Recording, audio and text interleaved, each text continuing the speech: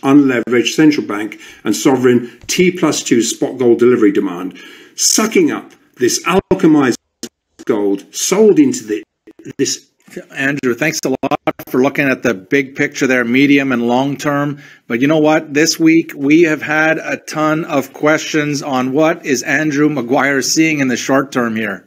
Yeah, and, and of course, now we're recording this just before M, uh, FOMC. It's in a few hours from now. So, you know, well, we don't need to. We don't need to know. What we need to look at is what are their options.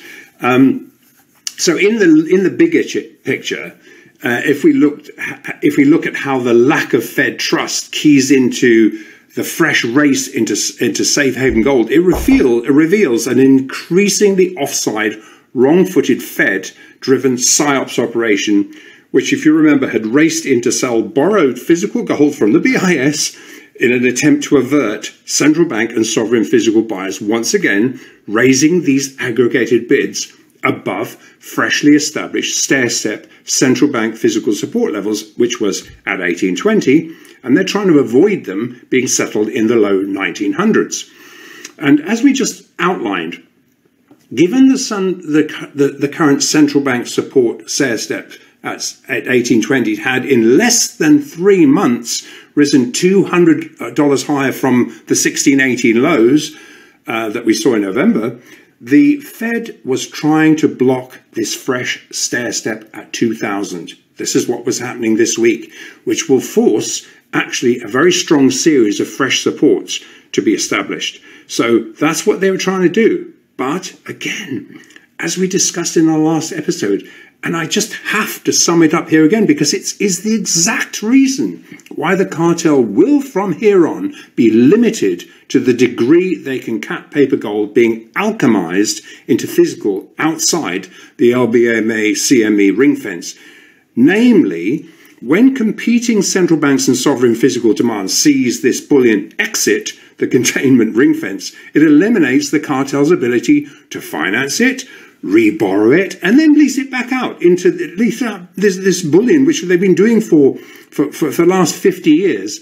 Obviously, always financed by officials who have who can print as much money fiat supply as they want to, to, to finance these positions.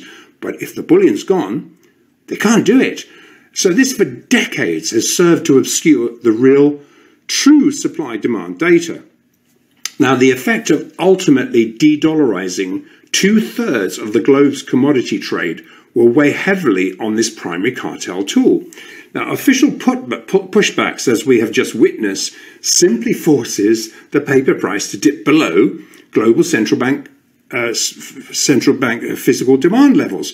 And while the COMEX gold is leveraged, the physical buyers circle in to convert this paper price to physical offtake and that is has a has a huge inverse inverse leverage. There is not what the, the cartel wants to see, but it's happening. Very short term, we're trading lower than the fresh 2023 Monday highs, which were made at around $2,014 uh, on Monday. And even though we've evidenced this fickle paper market longs being rinsed out since then, I say good riddance to them. It is the competing central bank sovereign physical demand that will once again change the sell rally paper market chart painted by the Fed through February into a buy the dip market as the higher physical supported stair steps we were discussing last time begin to get underpinned by the physical market at a higher level. And if you recall, footprints were already evidencing the accumulation of very large unleveraged central bank and sovereign T plus two spot gold delivery demand, sucking up this alchemized gold sold into the, this ill thought through US centric PSYOPs operation that commenced at the beginning of February. Uh, while some of this fickle, rinsable paper market interest also participated into the gold price ramp into the 2000 level, at the margin, it is this NSFR compliant T plus 2 spot gold delivery demand exiting this LBMA CME ring fence that has ultimately been forcing discipline on the cartel banks to hedge this physical exposure, triggering a sequence of layers of paper market short stops to be rinsed, but ultimately limiting downside traction. Because of that.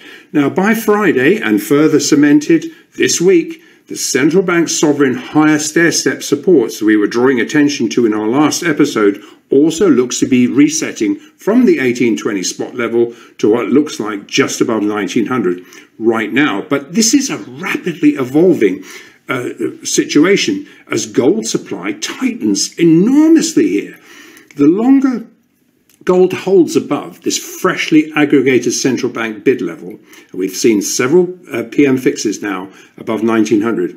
These higher stair steps will continue to populate, limiting the scope of the cartel's paper market activity. This is full circle back to the evolving paper to physical battle lines we've been tracking for years here, where the paper to physical lines cross is the, is the important point, and we know it is the physical market that ultimately provides discipline to the casino pit managers. So, bottom line, bottom line, the financial crisis is most certainly not over, despite this glossing over, evidencing a scramble by global officials to avert any one of the daisy chain of the too big to fail banks collapsing.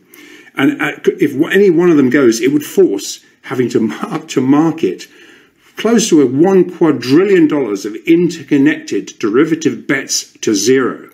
To avoid a total banking collapse, massive QE will have to be implemented, which will be another factor to drive gold, silver, and all commodities priced in dollars to all-time fresh highs. It's not that the commodities are priced uh, have moved up in price. It's that the amount of dollars it takes to buy them will be more. It'll require more. So while the paper market focus is on FOMC later today, and that is very short term, the Fed, faced with a potential 2008 or 2020 like bank run caused by the Fed driving rates too high too fast, will have its hands tied. If they increase rates too much, it's just going to create this uh, another another uh, another fallout.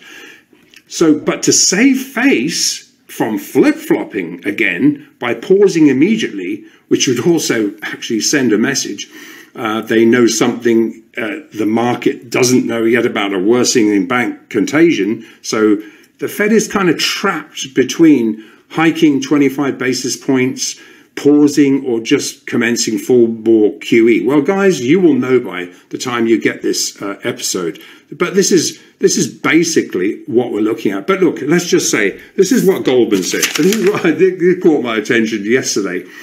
It, they said Fed either pivots too early and turns dovish into high inflation scenario, which fairly bearish for the US dollar, thus helping gold, or they pivot too late and cause a much bigger recession than is priced right now, resulting in a flight to safety, helping gold. That's Goldman's take. Um, and you know damn well they're long for their own book. Uh, there's only one safe haven asset, though, guys, you can protect ourselves with, any of ourselves with, and that is the question is how much physical gold and silver do you own right now?